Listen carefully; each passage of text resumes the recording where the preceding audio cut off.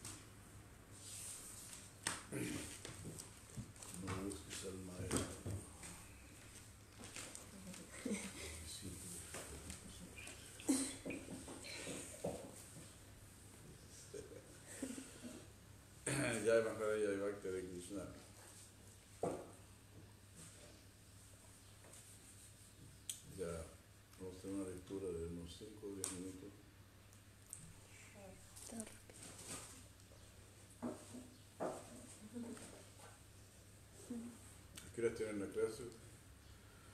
Ahora, no que tenemos la clase No, ¿a qué hora es generalmente la clase? ahora siete y media, sí, siete y media. ¿Siete y media? Jai Madhura Kelly Hare Krishna.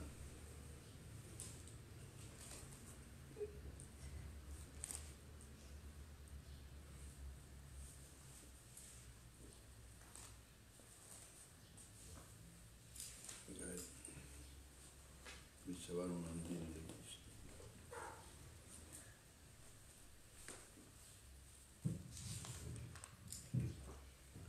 Namo Vishwapadaya Krishna Udale Sri Mateva Kulan Swami Tinamani Namaste Sadhadeva Guravani va di passo, eccetera.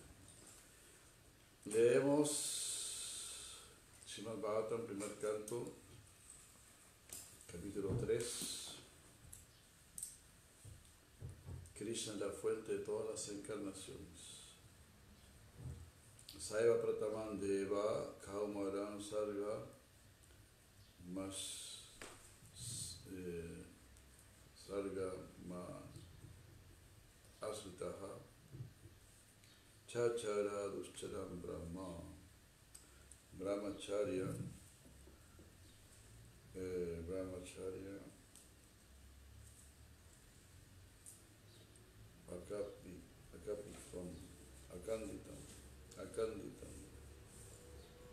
Akanditam intacto Akanditam en primer lugar, al principio de la creación existieron los cuatro hijos solteros de Brahma, los Kumaras, quienes, habiendo hecho un voto de celibato, se sometieron a severas austeridades para poder comprender la verdad absoluta.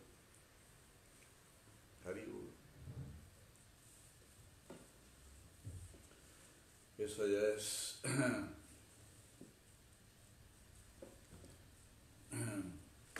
esa ya es la bendición más grande.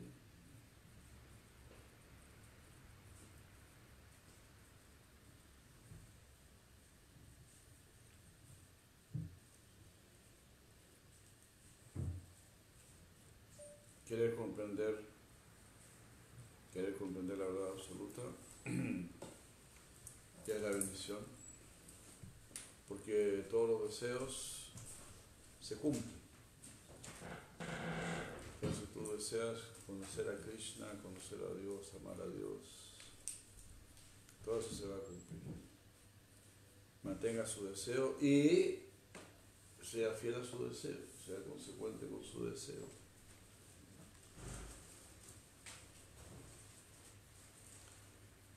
Significado, la creación del mundo material se efectúa, se mantiene y luego se aniquila en ciertos intervalos de tiempo.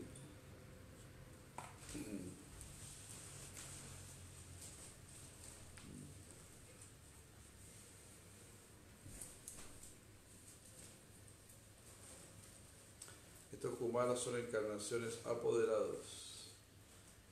Y antes de ejecutar el severo tipo de disciplinas, todos ellos se volvieron brahmanas capacitados. Este ejemplo sugiere que uno debe adquirir primero las cualidades de un brahmana, no simplemente por nacimiento, sino también por calidad. Y entonces puede uno emprender el proceso de la comprensión del brahman.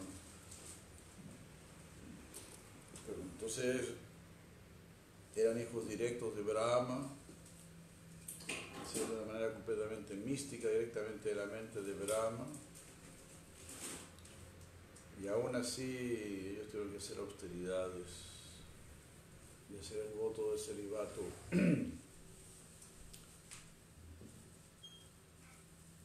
Como estábamos diciendo, para tener verdadera comprensión de la vida espiritual, uno tiene que hacer voto de celibato, practicar celibato, alejarse lo más posible de la vida sexual, lo más posible. Y prácticamente esforzarse toda la vida por alejarse de la vida sexual, de los deseos sexuales, de la atracción sexual y todo eso.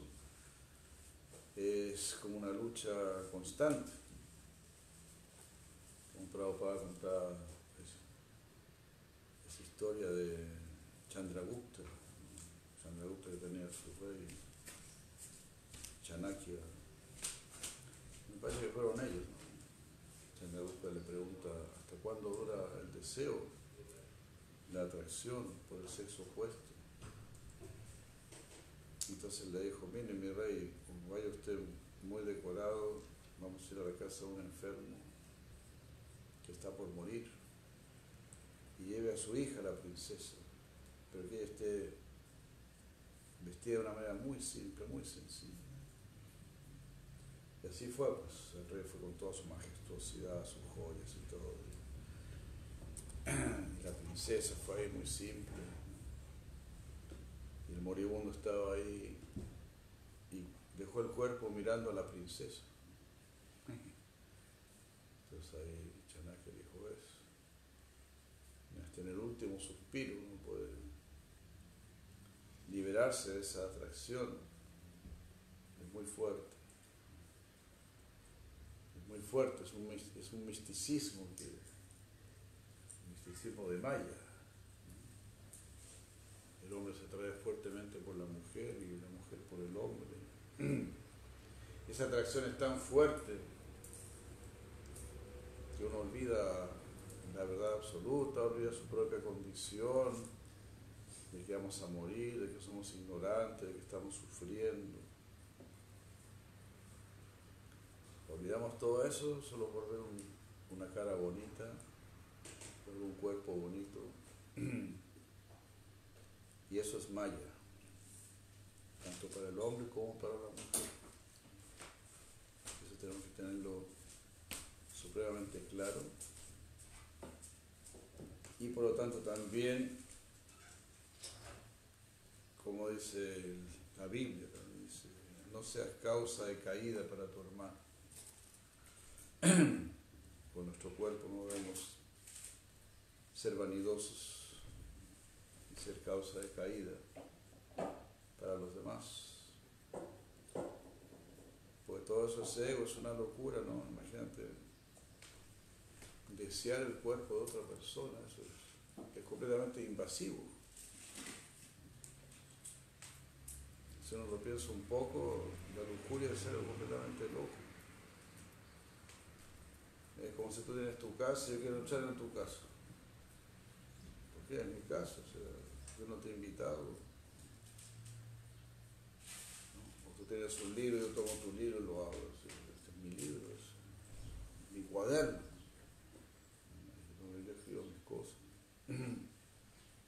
Son cosas invasivas. Entonces mirar tu cuerpo y desear tu cuerpo es algo invasivo. Pero uno, por ego, pues está pensando en eso, ¿no? ¿Por qué la gente hasta desea que deseen su cuerpo? Algo muy loco, ¿no? Este, eso es vanidad. ¿no? Claro, si la persona, qué sé yo, un viejo, alguien muy feo, desea su cuerpo, se, se enoja si una persona muy bonita desea tu cuerpo, ahí te alegras. Entonces eso es vanidad, eso es locura. Porque el sentimiento es el mismo, deseo tu cuerpo, pero depende de quién venga ese deseo. Pero en realidad ni siquiera yo mismo debería desear mi cuerpo. Como decía Santa Teresa, muero porque no muero. Quiero dejar mi cuerpo, porque mi cuerpo toma toda mi, mi atención, como dijo Sócrates. No hay nada mejor para un filósofo que dejar su cuerpo, dijo Sócrates y toma tanto tiempo, tanta atención.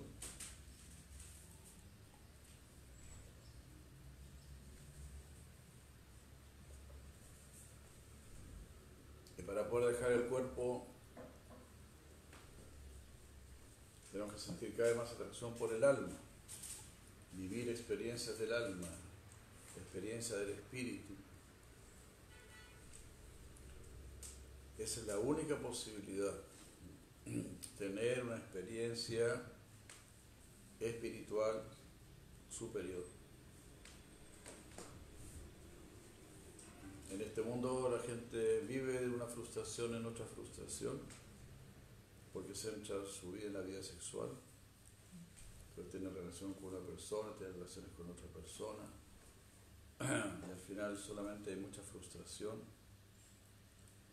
Pero esa frustración continúa y siguen intentando con otra persona y con otra persona. Porque nunca procuran una experiencia espiritual. Entonces, como hemos dicho muchas veces, la salida existe, pero la salida es hacia arriba. Y hacia arriba significa una realización superior, realización espiritual superior. Y debemos mendigar esa realización. Y eso es lo que hacemos con el canto del mantra. Cuando nosotros cantamos el mantra, debemos estar mendigando un sentimiento espiritual. Todos los días, cada que cantas tu yapa. Yo, escuché que Gorkishore y cantaba y hasta que sentía algo en su corazón que no sentía nada en su corazón, seguía cantando y seguía cantando. A veces se metía en las aguas del Ganges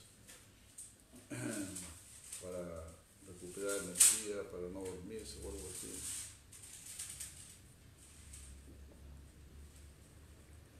Entonces, también como dijo Santa Teresa, ella dijo, muchas veces yo comenzaba mi oración sin querer orar, sin tener el deseo. Empezaba a orar, a orar y solamente pensando cuándo se sonará la campanita para que anunciaba que se ponía fin a la oración y ya había terminado la hora de la oración. Pero siempre al final me venía un gozo tan grande. Y muchas veces ese gozo era superior y cuando yo había empezado a orar con deseo, cuando empecé a orar sin deseos, al final la felicidad era mayor. Y son realizaciones, informaciones muy importantes. Entonces, eso es sadhana. Sadhana o Vaidhi. Significa lo voy a hacer porque lo tengo que hacer, porque lo, prometí que lo iba a hacer. Por lo tanto, se, debió, se volvió mi deber, porque lo prometí. Como se dice, lo prometido es deuda, o podemos decir, lo prometido es deber. Entonces nos obligan a prometer, porque cuando uno promete, está ocupando su inteligencia, está comprometiendo su inteligencia.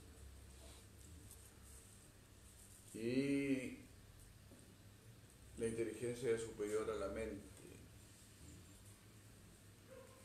Pues prácticamente no hacemos ninguna promesa en la vida. Cada vez hacemos menos promesas. O incluso peor, cada vez nuestras promesas valen menos no las respetamos. Pero en realidad el Veda está lleno de promesas, lleno de votos que uno tiene que hacer. Como decimos, eso de las promesas o los votos significa una vida inteligente, una vida guiada por la inteligencia.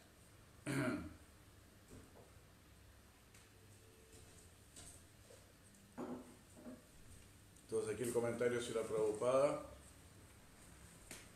muy importante, muy fundamental. Como le está diciendo, ¿no? Uno no es brahmana por nacimiento. Imagínense. Los mismos kumaras nacieron directamente del Señor Brahma. pero tuvieron que calificarse, dice Prabhu. Aunque ya empezaron calificándose, diciendo nosotros vamos a ser célibes toda la vida. Porque queremos tener, conocer la verdad. Y lo primero que nos aleja de la verdad es el concepto corporal. Y la vida sexual es la que nos acerca al concepto corporal. Por lo tanto, es una causa de, caída, es una causa de, enredo. Claro, ahora estamos en la era de Cali, y así como unos adoraron el becerro de oro, ahora se adora la vida sexual como algo muy elevado. Pero eso corresponde a gente muy baja. Vivimos una gran vergüenza esa locura se la quieren ya introducir a, los niños desde, pequeños. Así que tenemos que cuidarnos mucho, tenemos que combatir mucho eso, tener una vida muy pura, muy casta, muy dedicada a Krishna.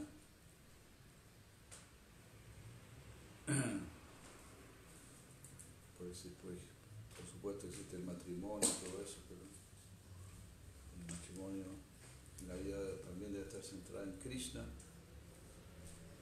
Siempre debe haber pureza y siempre debe haber esa búsqueda por una realización superior. Jai, cuatro Kumaras, Kijai, Sri Brahma, Kijai. Entonces, hay que esforzarse mucho. Y ahora han llegado unos no sé cómo llamarlos, que dicen que son descendientes de, de Nityananda Prabhu y que por lo tanto ellos son gran autoridad espiritual por el solo hecho de ser descendientes sanguíneos de Nityananda Prabhu. Pero aquí ese concepto también está rechazado completamente, como podemos ver.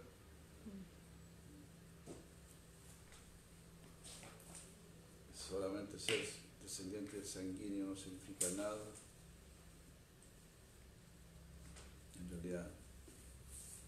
El mismo Krishna tuvo un hijo demonio, Bauma Asura. Krishna en su unión con la madre tierra.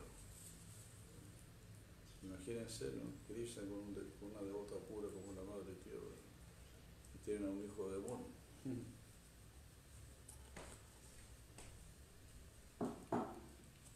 ¿Cómo entender el lila de Krishna? ¿no?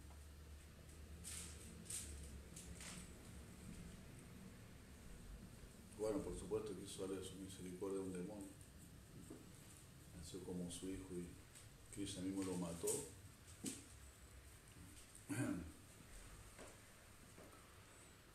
Y así es. Bueno, también Krishna mata a todos sus hijos, en realidad todos somos hijos de él y, y Krishna nos va a matar a todos. Mritu Sarvaharas Chaham, yo soy la muerte que todo lo devora, dice Krishna. Pero incluso cuando Krishna viene a matarte, eso es algo, muy bueno. Todo lo, que tenga, todo lo que tenga relación con Krishna será bueno. Mátame o protégeme, dice Bhaktivinoda según tu deseo. Eres el maestro de tu eterno cielo. Así como le decía Gurmohan a su hijo Abai, Abai Choran, Krishna te puede quitar todo o te puede dar todo. Él tiene muchas manos y tú, solo tienes dos manos. Si Él te quiere quitar todo, ¿cómo lo vas a, evitar? Si te quiere dar, ¿cómo vas a recibir todo lo que te quiere dar?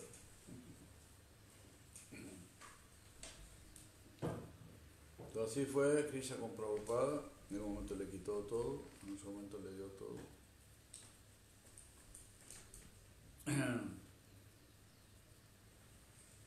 Entonces siempre debemos amar a Krishna, debemos seguir a Krishna, debemos esforzarnos por tener una vida elevada y pura.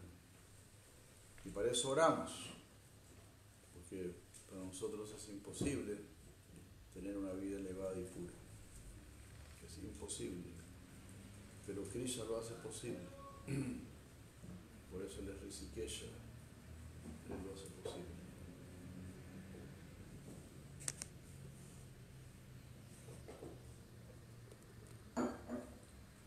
Yo soy el Señor de los sentidos, dice Krishna.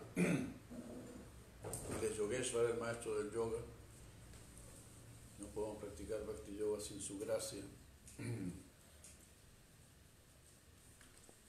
Y así. Entonces Krishna es como un gran general. Si era un gran general, el soldado no puede ganar la batalla. No sabe nada. El soldado no sabe dónde está el, el enemigo cómo enfrentarlo. Pero el general sabe todo. El general Krishna sabe todo y nos va a conducir a la victoria. Bueno, muchas gracias. Cantemos siempre Hare Krishna. Mantengámonos firmes, celebremos estas fiestas hermosas. Hoy es Diwali. La llegada del Señor Ramachandra. Sisi Ram Ki Jai. Sisi Sitaram Lakshman Hanuman Ki Jai. Ahora Permanente. Sisi Sitaram Lakshman Hanuman Ki Jai. Mañana Govardhan. Sí, Das Govardhan Ki Jai. Ahora Permanente. Ahora. Muchas gracias, muchas gracias. Ya, gracias.